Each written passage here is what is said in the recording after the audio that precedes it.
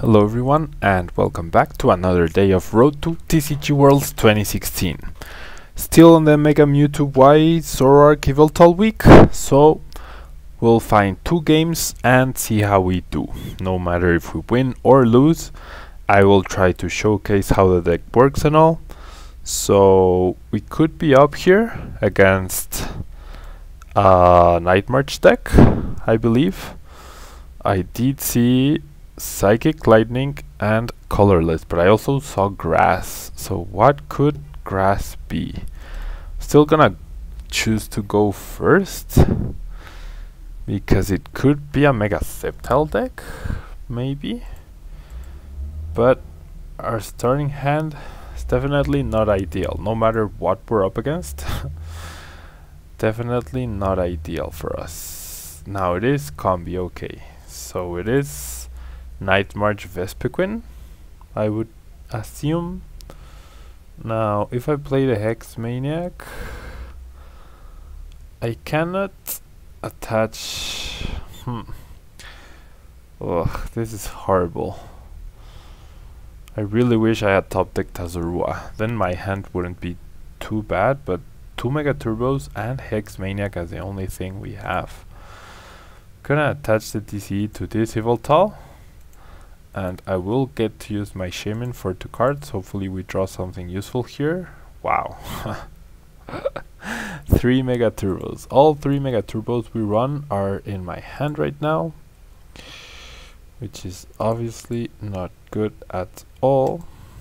I will get two Mewtwo's. Oh gosh, we're in for an interesting and very slow game. Gonna get one Mega and Shaymin? Or just, no, these two. Gonna forego the Zoroark right now because my hand really needs some, um, something. and I'm gonna play the Hex Maniac, at least deny him some Shaymin. And next turn I have one extra card guaranteed with my own Shaymin, I guess. And I do have my top deck as well to hopefully get out of this horrible, horrible mess I'm in. Now my opponent does play a DCE onto Combee. Gets a Forest of Giant Plants into play, evolves right away, so he is going to be able to damage me. He doesn't have any Pokemon in his discard pile though. So he does get a Battle Compressor, so he will be able to get some more Pokemon. He definitely won't be able to get enough to KO me though. I mean, I'm pretty sure I can count on that.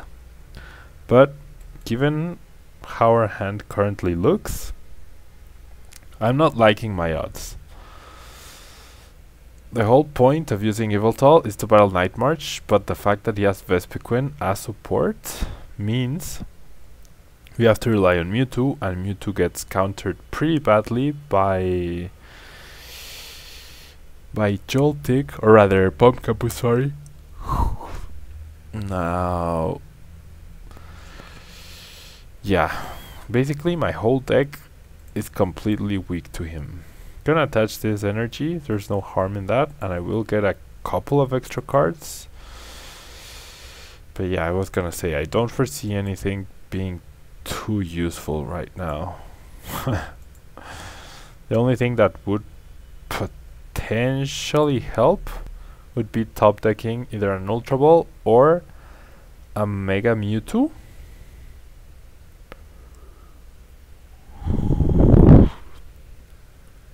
But I'm not liking my odds. Another thing that another good thing that could happen is if he retreats and decides to attack with Joltik.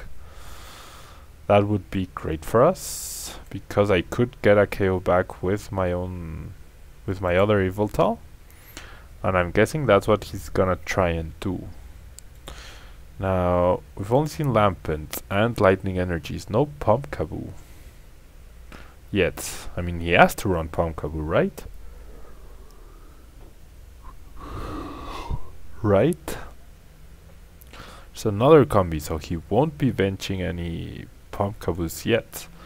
So this is definitely a version of Night March I have not seen myself. Or maybe it's just Vespiquen with Joltik support? Not entirely sure. He is going to Night March, he will get the KO. But that just means I can get a KO back with my own Yveltal, get that energy back and onto Mewtwo. And I do get a Professor Sycamore. The thing is though, all my Mega Turbos are going down the drain. Do I try to wait? Is it worth waiting to try and top deck? I think it is, because I will draw a prize and I will have another card to top deck. Both of which could net me either a Mega Mewtwo or an Ultra Ball. So we'll see. Super Rod doesn't help our case. So we rely on our top deck. I might be kicking myself after this turn. but who knows. Does attach a lightning, he does attach a muscle band. Can he do enough to KO me? One, two, three, four, five, six. Not yet. So maybe that muscle band was a mistake. If he had attached it to the active, he would get the KO. But I think he's going to miss on the KO. So that definitely gives us some some breathing room and might even put us ahead in prizes. Which would be very interesting and good given our current situation. Now he does play a VS Seeker. He can Sycamore, Lysandre, Birch, Shauna. I don't know why you would run Shauna and Birch in the same deck. I would always go with Birch at this point in time, but he does decide to Sycamore. What else did he discard? I hate that the latest cards discarded are at the end of the discard pile instead of at the beginning. 1, 2, 3, 4, 5, 6, 7, 8, 9, 10. Plus the 20, he's doing 120 damage, so he's 10 short. And he's got only 10 cards left in his deck, so he probably has a battle compressor, yeah. The battle compressor guarantees he gets a KO. The fact that he doesn't have Dimension Valley that we can see pretty much allows our Mewtwo's to trade somewhat favorably. Not entirely, but somewhat. And nope. So the question here is, is it worth it to get back the Yveltals? I don't think it is. Just gonna Sycamore here. I have to. I need more Mewtwo's, I need a Mega Mewtwo this turn. Which I obviously do not get. Which means this is game. This really is game. I cannot take a KO here. I cannot do anything. I didn't get an Ultra Ball, of course. I didn't get a Mega Mewtwo. Our starting hand was stellar, absolutely stellar. All he needs to do is KO both Shaymins, which are pretty easy targets. He could potentially also KO my Mega Mewtwo, but just go straight for the Bee Revenge. So we still have uh, a chance here, I guess. I do top deck another Sycamore. So, gonna attach the DCE, doesn't really matter. I'm gonna go ahead and Sycamore here. Still no Mega Mewtwo. I do get at least. I will get rid of both Evil Yveltals. And yeah, all three Mega Mewtwo's are there. I do think I will need the energy potentially for later. So at least I get one KO here. Put us even in the prizes. Now if only I could KO Shaymin. I do have a guaranteed Mega Mewtwo next turn to take another KO, which is great. He's down to um, one, two, it's down to two DCEs. And he didn't attach any kind of energy last turn, so he might not have it just yet. So he is at some risk of getting decked out.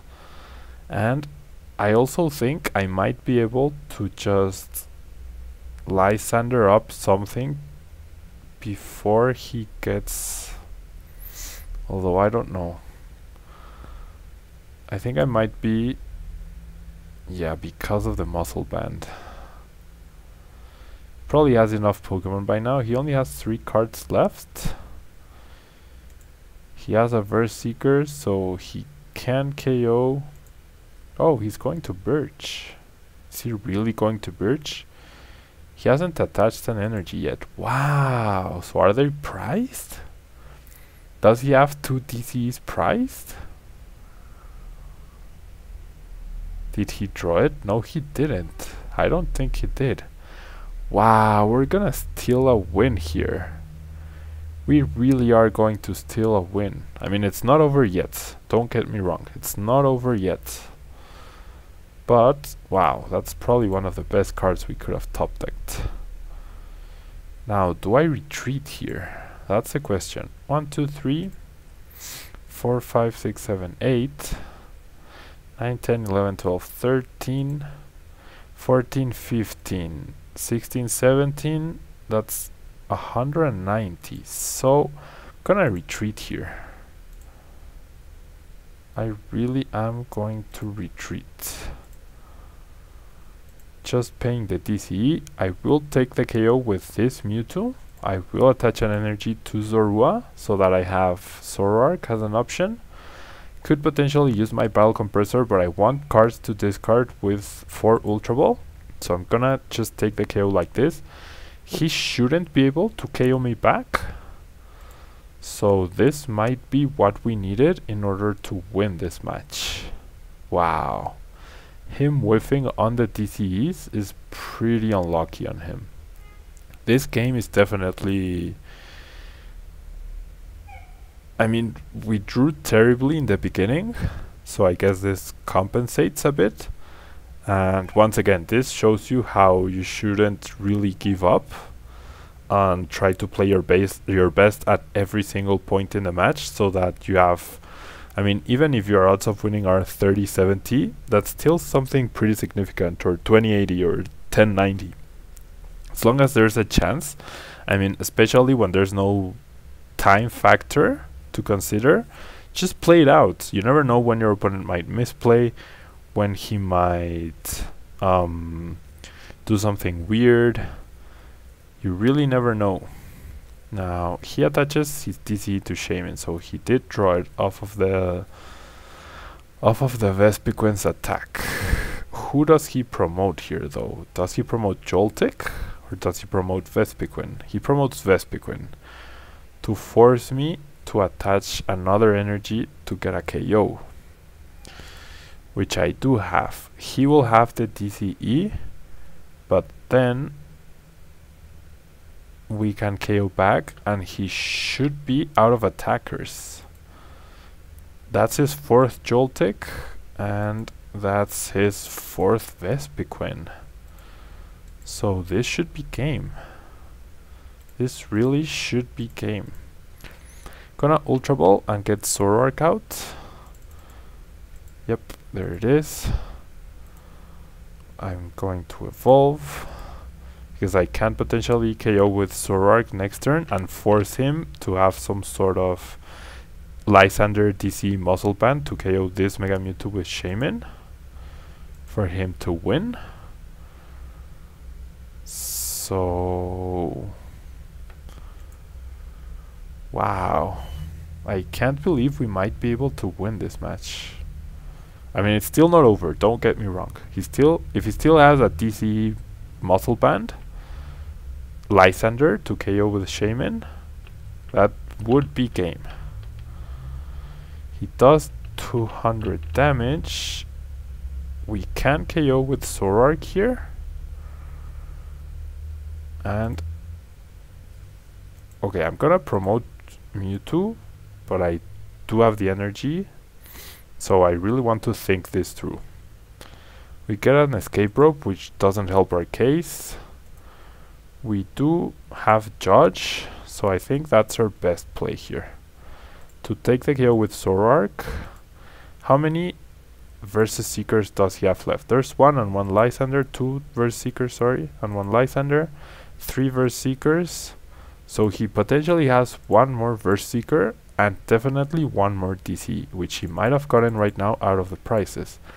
Therefore, I am going to judge here to reduce the odds of him having the DC, Muscle Band, and VS Seeker or Lysandre. He needs three cards next turn in order to win. I still won't have a guaranteed anything just yet. I will get rid of all of these cards just to ensure... Nope. Do I want to bench Zorua? Yeah, I can bench Zorua. I will use Stand In. Now, the big thing here is... I don't... He has a few turns to get the... The Shaymin going. Because of... I my damage output relies on my opponent. So if he got the DC off of his prizes, if he has a last muscle band, and if he has, wow, there's a VS Seeker. Does he have? Oh no, he goes for Shauna. So that's game. I mean, unless he has some sort of Buddy-Buddy Rescue or revive or super rod, which I would imagine he does. Um, I think that's game. There's the DCE. So he did get the DCE off of the prizes. Now he can simply shuffle in and out all of his Pokemon. Do I have enough energy? One, two darkness, three, four, five, six. I only have one darkness energy left in the deck. Do I have a DCE? One, two, three. I do have one DC left. So what I need is my DC because he can just do 30, 30, 30, 30, 30 and I would not have enough damage to KO him. So he might have Judge here. So what I will do is get rid of everything that does not help me win this game, which are exactly these three cards. The Lysandre might help me at some point. The Escape Rope also probably doesn't help me at all. So that's just in case. I'm wasting all of these cards just in case he decides to use um, Judge and remove my DC from my hand. But I will only do 10 damage right now. He will do 30 and he can shuffle Shaymins that way. And if my DC was last my, my was my last prize, he would win because he would just be healing off all the damage. I mean, he would probably deck out but it's not guaranteed and I would never be able to do enough damage in order to to win the match. He concedes, so I guess he assumed I had the DC. Maybe he didn't even think of the possibility I was just saying, but that was definitely very scary towards the end because even though I pulled it out in the end, because of those turns he missed the DCE, if I didn't have my own last DCE, and that darkness, that last darkness energy, I would have never been able to deal enough damage to KO a Shaymin and he would have simply been able to cycle through them and win. So since I didn't know if my last DCE was in my deck, using that Sycamore was a bit um, was definitely a bit aggressive because I made it so that my deck was thinner than my opponent's. Therefore, I would have decked first. I did have two... Wow. Stellar hand once again. I did have two... Two Versus Seekers, but the judge would have made it so we both shuffled, not just him. And now we're up against a fairy deck, so we might be facing a Mega Mewtwo mirror match here. Uh, if I had only started with Yveltal instead of Hoopa, this starting hand would be amazing, but because I did start with Hoopa, now it really sucks. It really, really sucks. like, seriously. and I top deck another useless card. Okay. Gonna get rid of the two darkness here. And I have to get Shaymin to try to draw something. And it's so unfortunate that I have to use my escape rope here. It really is. Because afterwards, I will have to rely on Zoroark to get this Hoopa out of the active spot.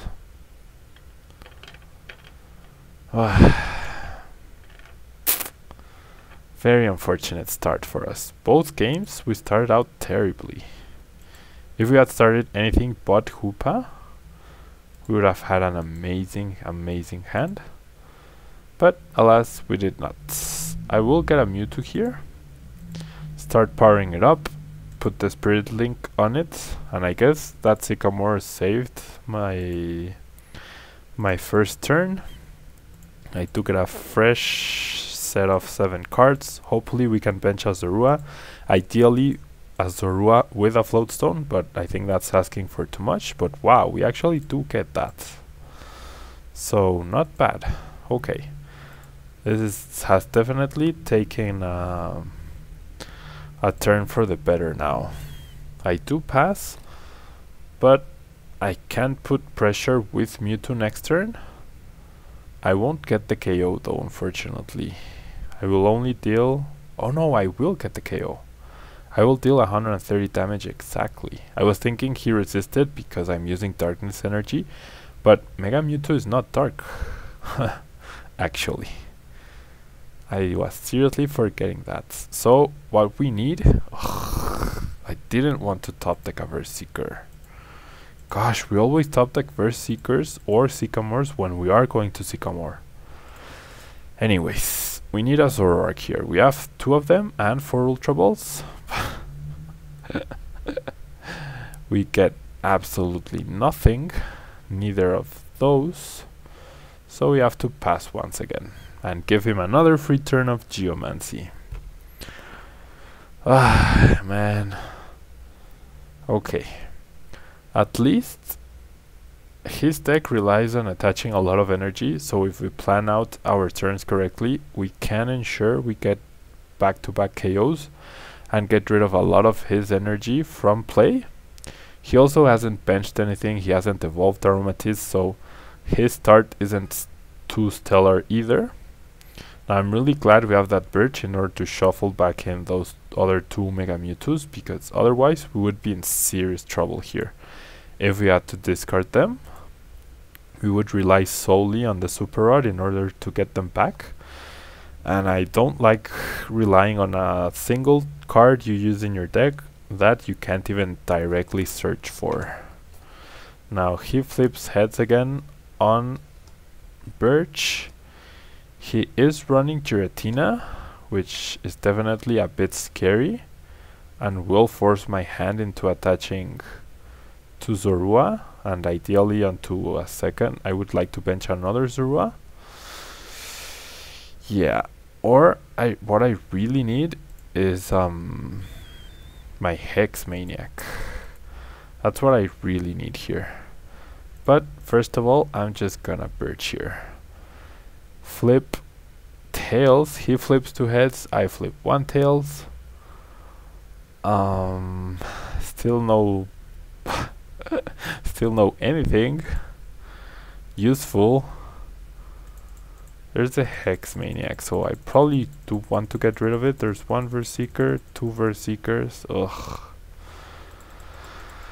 That's not something you want to see. I will get rid of one baby Yveltal though, the one in the deck. But do I get rid of the Hex Maniac? Because Oh, I'd really like to get some KOs now. I really would love to do that. Do I... I mean, there's only two VS Seekers left, so the odds aren't too great. But I guess they are higher than just the one Hex Maniac. Fine. And I will just pass the turn once more. I had the professor's letter in my previous hand. I don't know why I didn't attach to Zorua. That was a very silly mistake. I was too focused on just not getting rid of the of the two Mega Mewtwo's that I completely forgot about that. He attaches a Headringer to Shaymin. That doesn't really matter. He will be able to get uh, Aromatisse now. And I'm really glad seeing him discard a VS Seeker there. That's two VS Seekers. But wow, he's using uh, Team Flare Grunt and Ace Trainer. And he didn't get Aromatisse, so he might have to wait another turn. And he's using Jirachi as well, so... this is definitely going to be an interesting match. He didn't get any energy out and I have absolutely nothing still. So I'm going to judge. We both had four cards so it doesn't really make too big of a difference. I do get my VS Seeker though which is awesome. Problem is I have no way to retreat that Hoopa just yet and I only have two darkness energy left. That could be a problem here. There's two in my discard pile so there's one in my prizes here. I will attach to this Zorua. And I will pass a turn. We're both playing the waiting game. What I really need is simply... All I need is just uh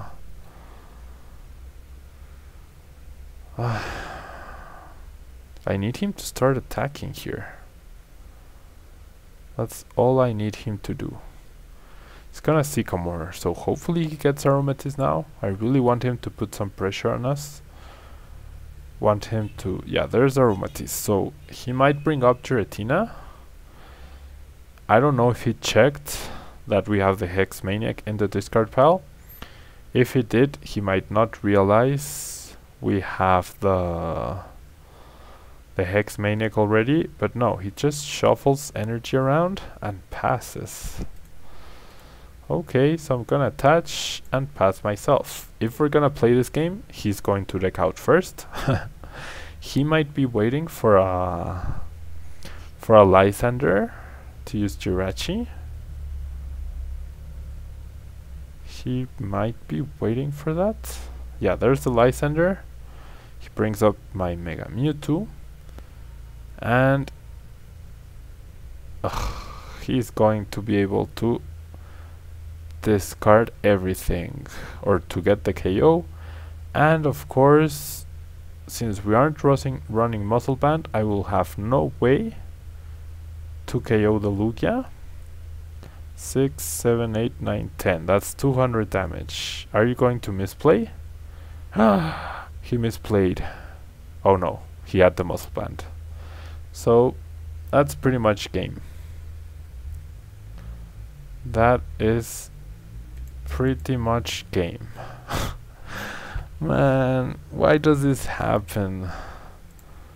It's just so ridiculous and now we're gonna have to waste a Versus Seeker onto a Birch or a Judge. Onto a Birch or a Judge. A Judge. But we can't get a KO. How are we going to set up another Mewtwo at this point? How? we don't even get the Zoroark or an Ultra. Have we even... Ugh. This is just beyond ridiculous. Absolutely beyond ridiculous.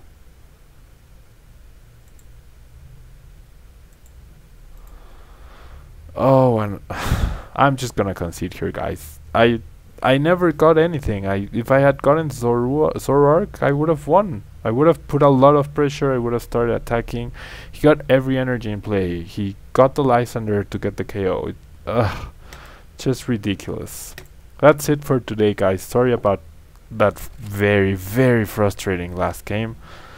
But nothing I could do. It's just the hands you're dealt with. 15 cards left, no Zoroark. Um, our Sycamores were crap. We, of course, draw Seeker with Sycamore. It's just incredible. But that's Pokemon for you, isn't it?